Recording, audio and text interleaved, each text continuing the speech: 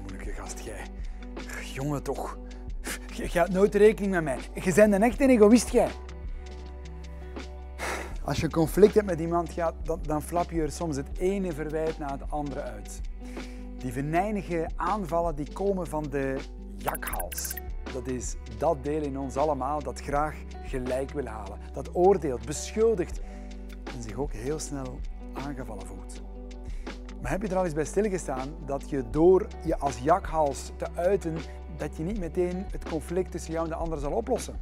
Erger nog, de spanning zal toenemen en je uitval zal eerder tot uh, leiden dan tot verbinding. Als je verbinding wil met de andere, dan kan je beter contact maken met je innerlijke giraf. De giraf is dat andere deel in ons allemaal dat geen gelijk wil halen, maar het contact met de ander wil herstellen en tot verbinding komen. Hoe doe je dat als giraf, tot verbinding komen met de andere? Enerzijds door naar de andere te luisteren met empathische giraffenoren, in plaats van wat de ander zegt als kritiek op te nemen en je persoonlijk aangevallen te voelen. Hoor je als giraf de onvervulde behoeften van de andere en zijn onvermogen om zelf de verantwoordelijkheid op te nemen voor wat hij voelt en nodig heeft. Anderzijds streef je als giraf naar verbinding door zelf eerlijk te zeggen wat er in jou leeft. Door de ander te laten weten wat je voelt en wat je behoefte is. Zowel het empathische luisteren als het eerlijk uiten kunnen we doen met behulp van vier stappen. Een rond punt dat een vlot communicatieverkeer bevordert met vier straten.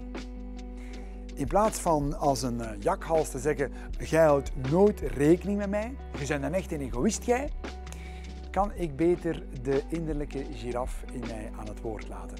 Door eerst en vooral een feitelijke waarneming te geven.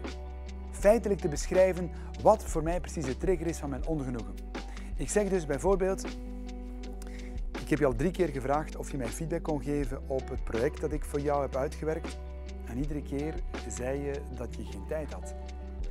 Dat is een duidelijke, feitelijke, neutrale waarneming, waardoor de kans kleiner wordt dat de andere het als een verwijt opneemt. Vervolgens ga ik zeggen wat ik daarbij voel.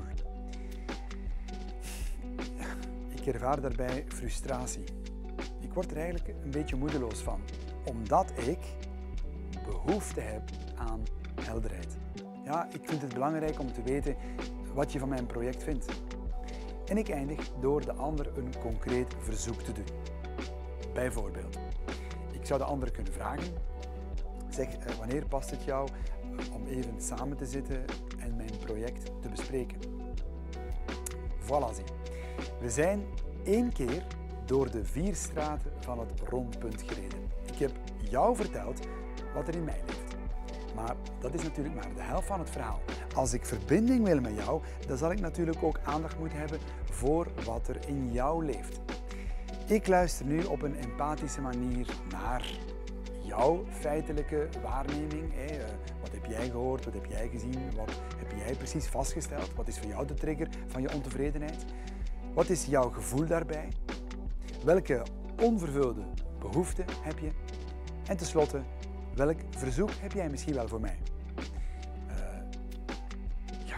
Dat allemaal een klein beetje eh, kunstmatig? Hè? Vraag je af. Hè?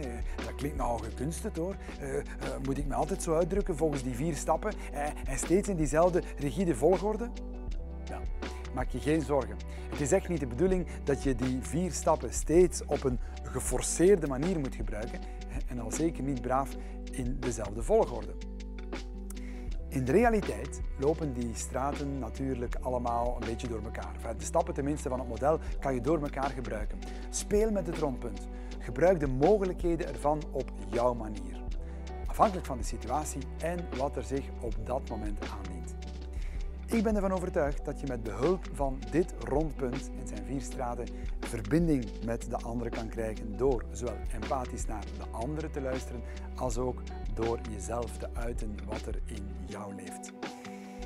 Door jouw uh, innerlijke giraf naar boven te halen, vergroot je de kans op echt contact en wederzijds begrip en respect.